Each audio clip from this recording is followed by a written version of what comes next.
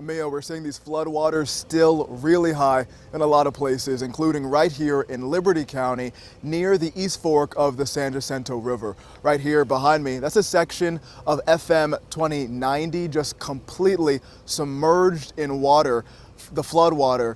Uh, people here have been trapped all day. Emergency crews have been helping to do these evacuations throughout the day. Take a look.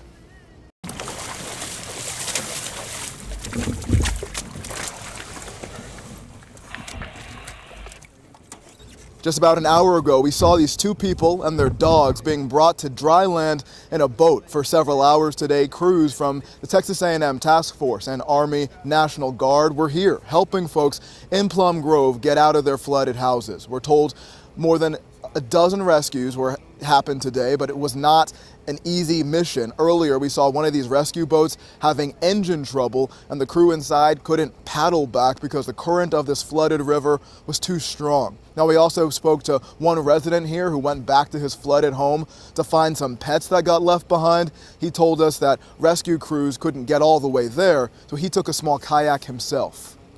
Went in and seen my dog was still alive on my daughter's bed. My cat was still alive. I just don't have a way to get to him again.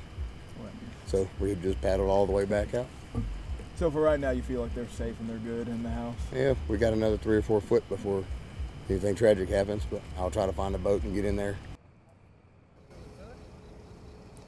And that man says he'll be here tomorrow with a bigger boat to rescue his animals.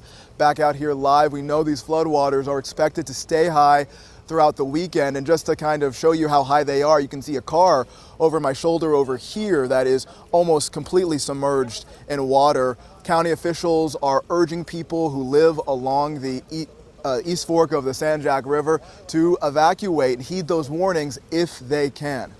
Mia, Ron. All right. Thank you so much, Stephen Goen.